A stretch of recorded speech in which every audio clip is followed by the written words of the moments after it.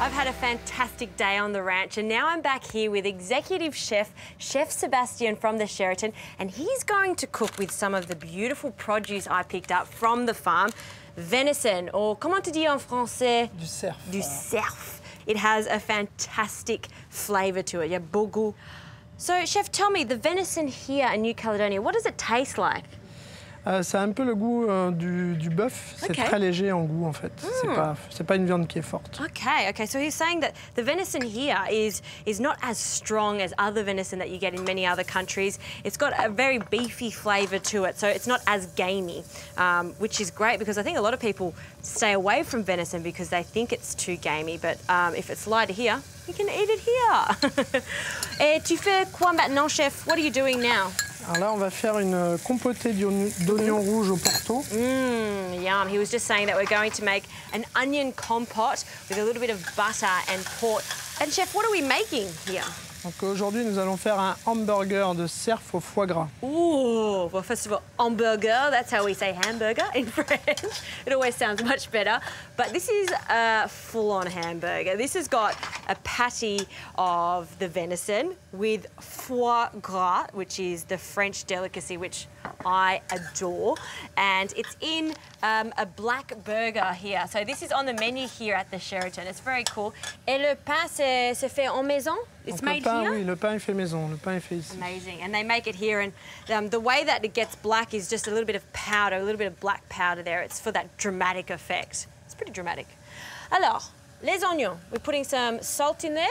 Yes. Mhm. Euh, les oignons, le secret, c'est de les laisser euh, confire longtemps. Okay. Donc longtemps, c'est à peu près trois quarts d'heure, Okay. à feu très doux. So his secret to making this amazing um, onion compote is low and long, which means cooking it for about three quarters of an hour is the best, even longer if you can, to get that really jammy consistency. And he's so French. More butter.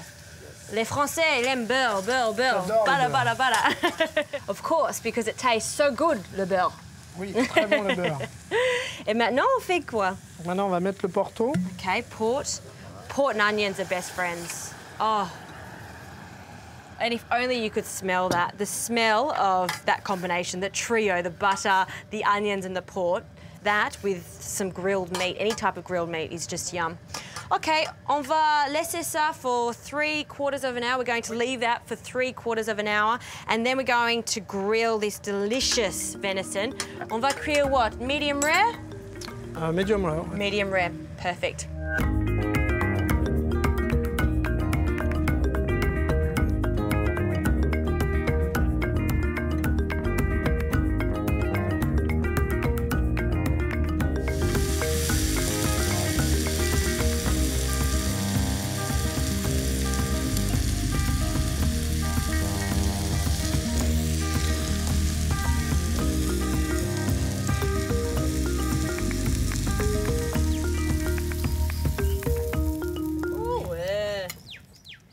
Right, let's get this foie gras in the pan. Chef, we've got a pan here. On va uh, cuire le foie gras. We're going to cook this foie gras. This is fresh foie gras, and you don't need any oil at all because foie gras is uh, quite fatty. Euh, C'est quoi le foie gras? Le foie gras, c'est, euh, ça vient des canards gavés, Oui. en fait. Donc le foie, euh, It's a delicacy. It's something you don't eat every day, um, and it's a, a pretty much a really fat liver of a goose. It sounds gross, but my golly gosh, it tastes delicious, and it takes no time at all to cook. Because this is the fresh foie gras, you just need to pan fry it on each side on a hot pan uh, for it to be cooked. It is so delicious, but it is very, very rich. And chef, you can see all he's doing is seasoning it with some salt and pepper. Okay, c'est cuit. It's cooked already. it's cooked. So maybe we should assemble the hamburger. I'm the chef, donc today you are my commis in French. Oui, chef, of And course. you make this burger. okay, so I'm going to make the hamburger for chef. Now I'm worried. I hope I make it perfect for you. So burger bun, going to open that up. Oh, so soft. And chef, what do we start with with the hamburger? How do you build the ultimate venison and foie gras hamburger? I want you put for me the mushroom sauce. Okay. Mm, what's in the mushroom sauce? Donc il y a de la crème, de, de l'oignon Mhm. et du cèpe. cream, onion, and cep. And I can smell it. It smells so good. Marmelade d'oignon. Okay, onion marmalade. You can see how cooked that is. That was 45 minutes. It's soft, it's sticky. Yum, yum. And next. Maintenant, Justine, tu vas me mettre les tomates et l'oignon. Okay, so a Dessus. few pieces of tomato. L'oignon mm-hmm. rouge. Okay, so some more onion. So we've got the cooked onion and the raw onion. Okay. Maintenant, Justine, là, on a de la copa de cerf Oh, qui wow. est fait localement à Bourail. Fabulous. So this is um, coppa. So it's a cured meat, and this is actually venison. It's been cured locally in this area, in the Bourail area, which is just magical. So that's going onto the hamburger. This is going to, going to be so rich. So if I'm going rich, I might as well put three on. and then the foie gras goes on top. Voilà. Mm-hmm. And now for the pièce de résistance. The meat has to go on. You? oui? Yes? Moi, okay. He says I have to do it, so absolutely. And that goes straight on top there.